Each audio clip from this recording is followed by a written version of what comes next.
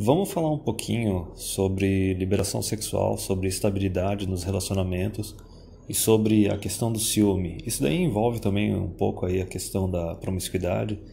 É, tava vendo um vídeo do Platinho, acho que foi aquele lá que ele soltou a pergunta dizendo sobre se o casamento está morto, né?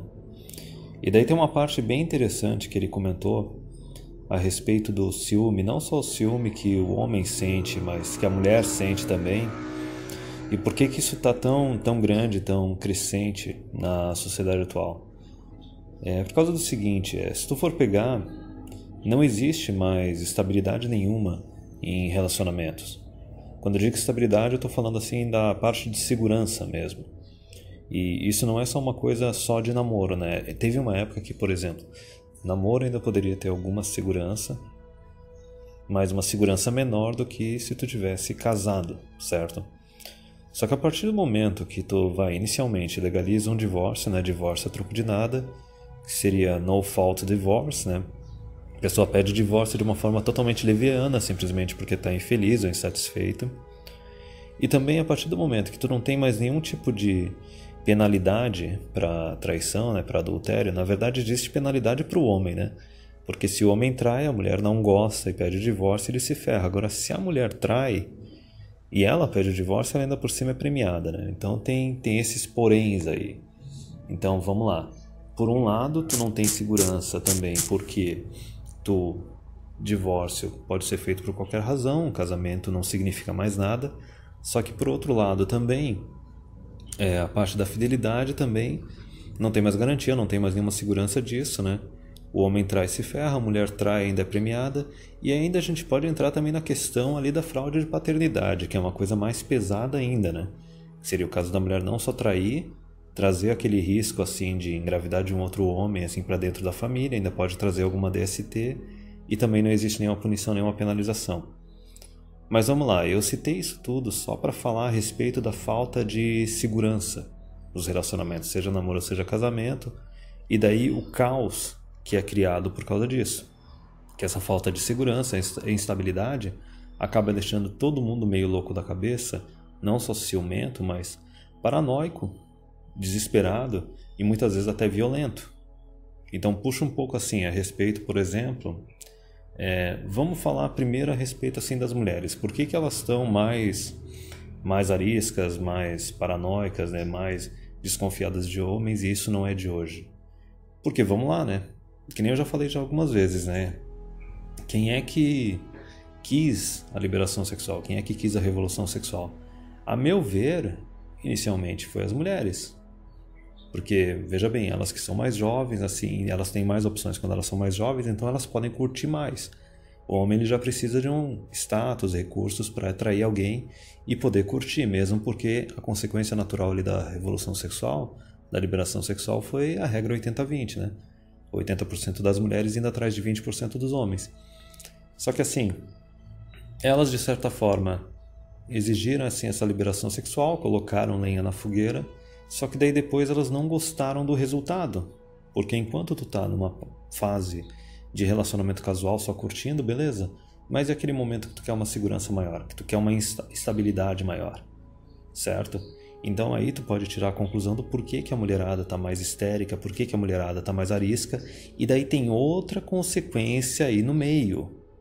Porque vamos lá, a partir do momento que assim elas não têm segurança, não têm estabilidade, elas são mais paranoicas que os homens, e daí elas querem controlar ou dominar os homens, qual é o mecanismo que está ali à disposição para ser utilizado para isso? Sufrágio universal, voto e governo. Então veja só como é que é a ligação ali quando tu pega é a liberação sexual, esse caos, essa instabilidade que surge nos relacionamentos, e daí as mulheres querendo usar a força política delas para dominar os homens, criando um monte de lei feminista, que não está resolvendo o problema, né?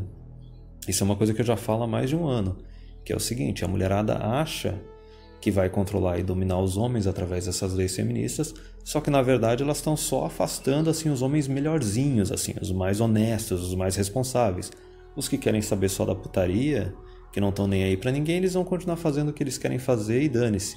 Especialmente se eles tiverem dinheiro e recursos para depois pagar, né, os custos do sindicato que a gente já conhece, né? O sindicato bucetal. Mas daí, pega só isso então. Elas ficam insatisfeitas, ficam paranoicas porque exigiram algo que daí no final não deu o resultado que elas queriam. E daí tem aquela questão da insegurança, tentam usar poder político para dominar os homens e vão ficando cada vez mais histéricas, cada vez mais ariscas, cada vez mais difíceis de lidar. Só que daí tem outra questão também, o homem também. O homem, a partir do momento que ele não tem garantias ou proteções nos relacionamentos, ou ele vai valorizar eles pouquíssimo, que seria o caso assim de homens que só namoram, só têm relacionamentos casuais e não sérios, ou até aqueles que não têm disposição para ficar tendo relacionamento casual e tinham alguma expectativa de casar, ter filhos, que é ter algo mais sério, eles vão simplesmente desistir do jogo, abandonar, certo? Só que daí tem uma outra questão também, que são aqueles caras os mais ignorantes que não acompanham lei, não acompanham notícia e vão simplesmente seguindo o instinto deles. E é aquele cara normal, o bem gado. É aquele cara que chega lá aos 25 anos de idade, já tá casado e já tá com filho, assim, mal saiu da casa dos pais e foi já morar com a primeira ou segunda namorada que ele arranjou. E daí de repente, ele descobre a situação na qual ele está vivendo ele percebe que já está no casamento, já está ali com o filho, só que daí ele descobre que ele não tem direito nenhum na parada.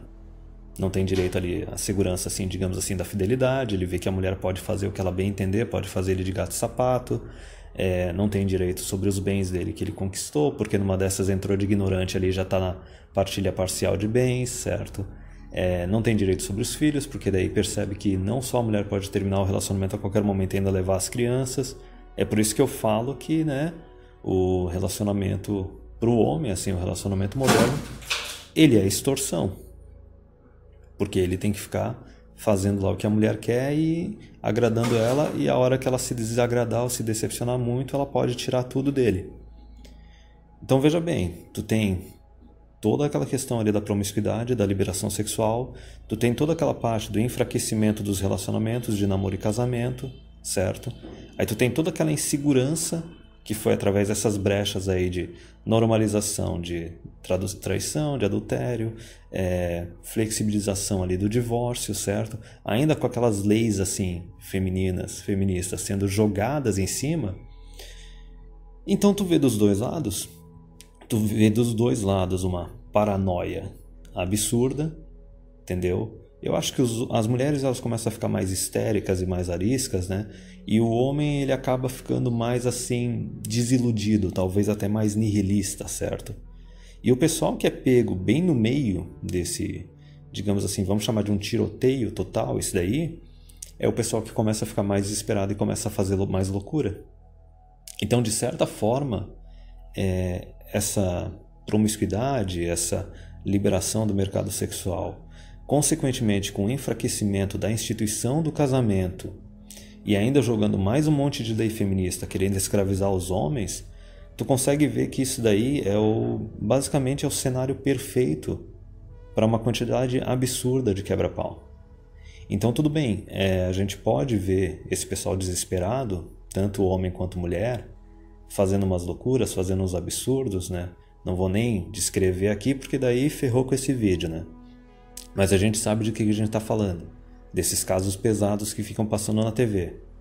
Então, por mais assim que até a gente sabe que a mídia fica só jogando lenha na fogueira para tentar cumprir uma agenda que a gente já conhece, colocando 24 horas por dia, 7 dias por semana esses casos, sempre colocando o lado da mulher mais como lado de vítima, mas se tu tira parte do teu tempo para fazer pesquisa assim desses casos de violência doméstica e até alguns bem graves assim que acabam dando em óbitos, tu consegue ver que até mulher também tem muito caso aí de mulher que está dando fim não só no cônjuge, mas está dando fim nos filhos às vezes. Está dando fim no filho ou nos filhos para tentar atingir o cônjuge, vingar, se vingar dele de alguma forma. Então esse cenário dessa desgraça aí, desse quebra-pau que está rolando todo, é simplesmente por causa do enfraquecimento da instituição do casamento. É como se, não sei, talvez se uma boa parte da população não fosse capaz de operar de uma forma saudável, de uma forma boa para si mesmo num mercado sexual totalmente liberado.